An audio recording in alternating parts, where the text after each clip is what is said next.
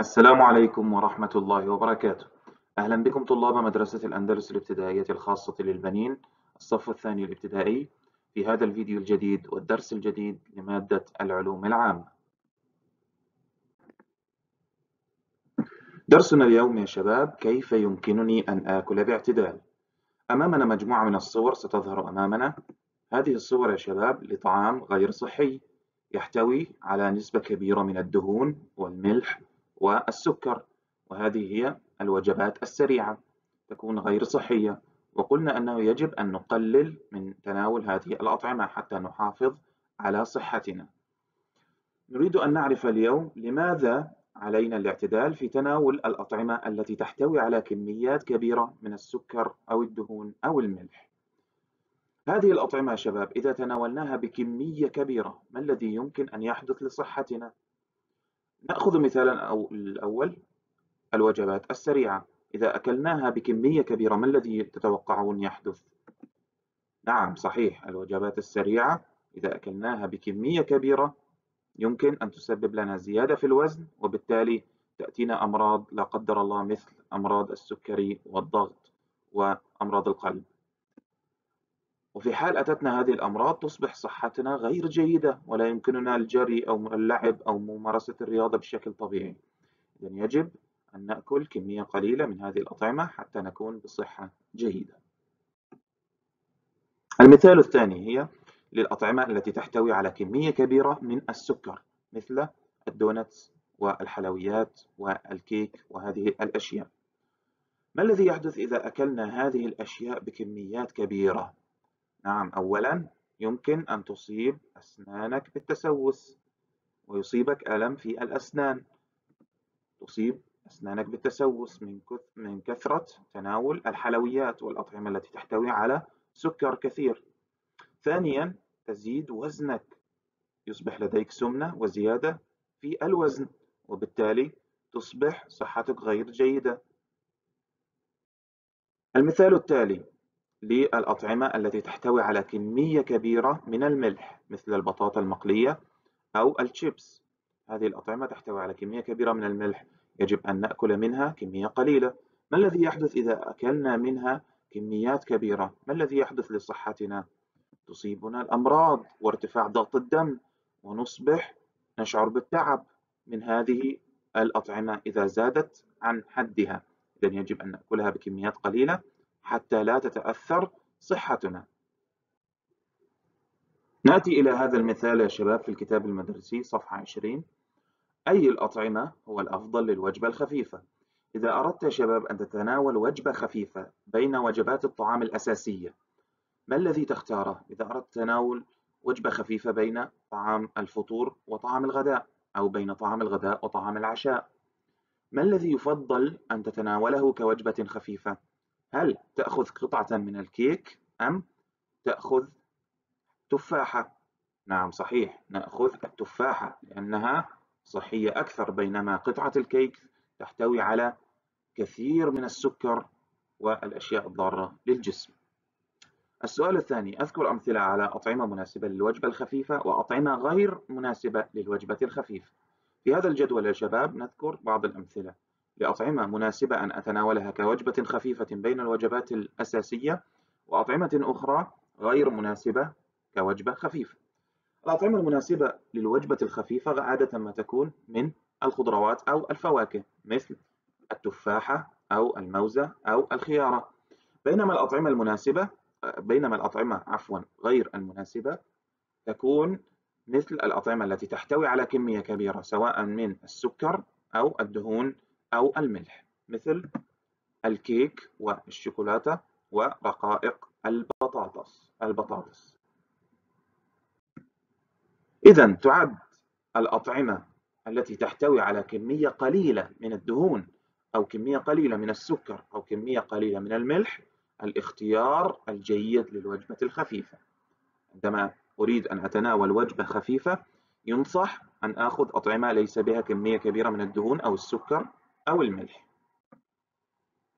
نأتي إلى هذا المثال في الكتاب المدرسي صفحة 22 السؤال الأول أرسم دائرة حول الأطعمة التي ينبغي أن أتناولها بكثرة في نظامي الغذائي هل أتناول الصورة الأولى الحلوى أم الصورة الثانية الخيار المخلل الذي به كثير من الملح أم الصورة الثالثة الخضروات والفاكهة؟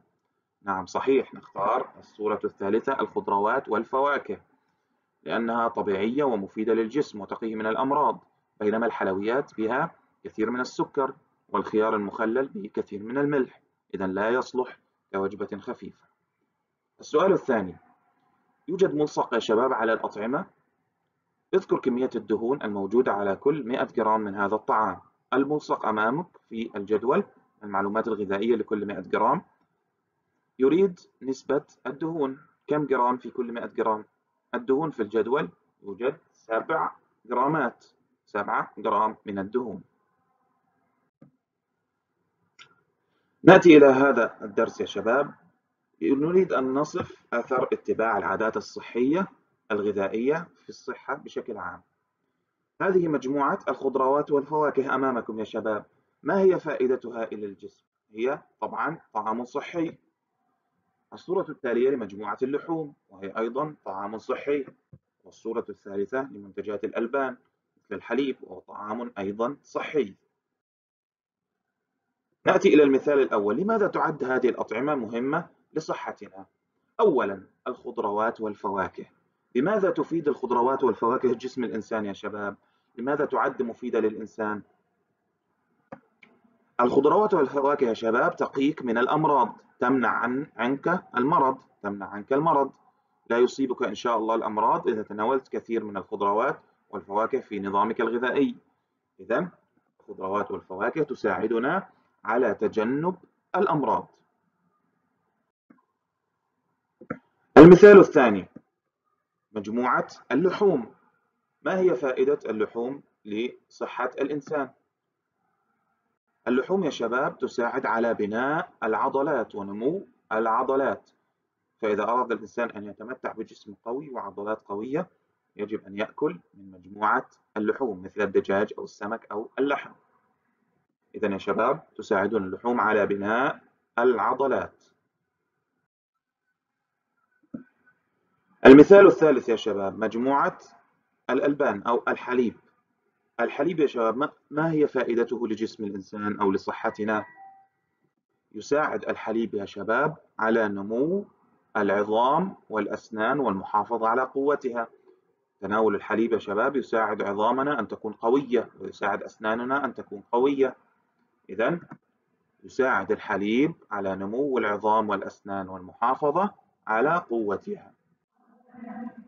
نأتي إلى هذا النشاط يا شباب في الكتاب المدرسي الصفحة الخامسة والعشرون.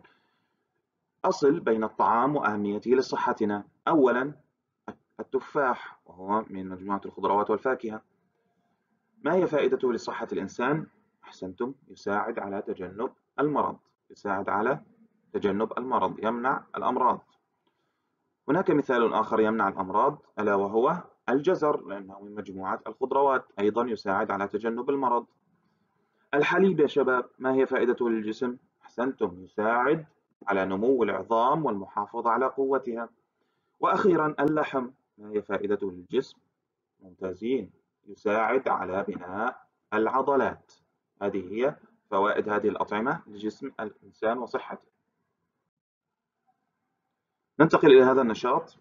انظر مع زميلي للصور وأرسم دائرة حول المفردة الصحيحة. غالبا ما يرتبط مرض السكري بزيادة الوزن أم بنقص الوزن؟ أحسنتم غالبا يرتبط بزيادة الوزن. الأشخاص الذين يملكون وزنا زائدا يمكن أن يكونوا معرضين للإصابة بمرض السكري. النقطة التالية يحتاج الأشخاص المصابون بمرض السكري إلى تناول غذاء صحي بما في ذلك الفواكه والخضروات وبعض الأطعمة النشوية مثل الخبز الأسمر أم رقائق البطاطس. أحسنتم الخبز الأسمر لأنه يعتبر غذاء صحي بينما رقائق البطاطس بها كمية كبيرة من الدهون والأملاح لا تصلح. النقطة الثالثة يحتاج الأشخاص المصابون بمرض السكري إلى المحافظة على الحد الأدنى أم الحد الأقصى من السكر والدهون والملح في نظامهم الغذائي؟ أحسنتم الحد الأدنى يجب أن يقللوا من هذه الأطعمة الغير صحية. النقطة التالية ينتج مرض القلب من تراكم الدهون على القلب وغالبا ما يرتبط بالنظام الغذائي الذي يحتوي على نسب عالية أم نسب قليلة من الأطعمة الدهنية؟ أحسنتم على نسب عالية من الأطعمة الدهنية يمكن أن يرتبط مرض القلب أيضا بالنظام الغذائي الذي يحتوي على الكثير أم القليل من الملح؟ أحسنتم الكثير من الملح إلى هنا ينتهي درسنا لهذا اليوم يا شباب وإلى لقاء يتجدد إن شاء الله في الأسابيع القادمة شكرا لكم على حسن استماعكم والسلام عليكم ورحمة الله وبركاته